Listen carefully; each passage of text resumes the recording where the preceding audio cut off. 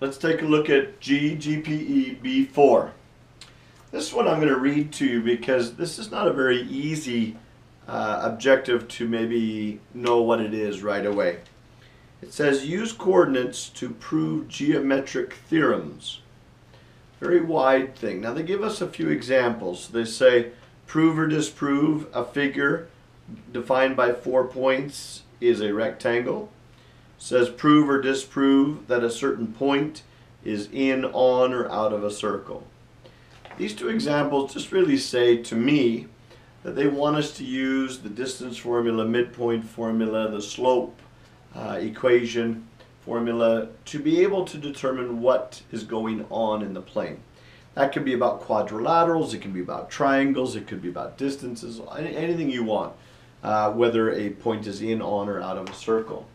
So really this is about establishing characteristics of geometric shapes based off of coordinates.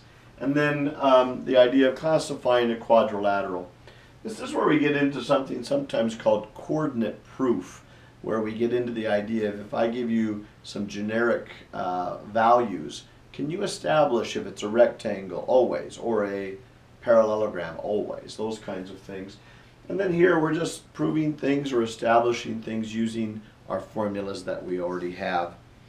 The, um, the connections, of course, are everywhere. We connect to all of the previous ideas.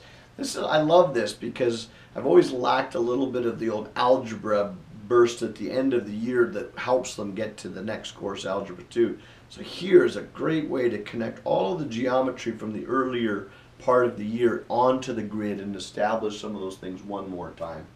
And so uh, this is a good area. It, it, students do struggle with the algebra a little bit. It's a great time to review and refresh and get them ready. And so I, I think um, this objective, while fairly vague, is a very powerful one in prepping students for Algebra 2.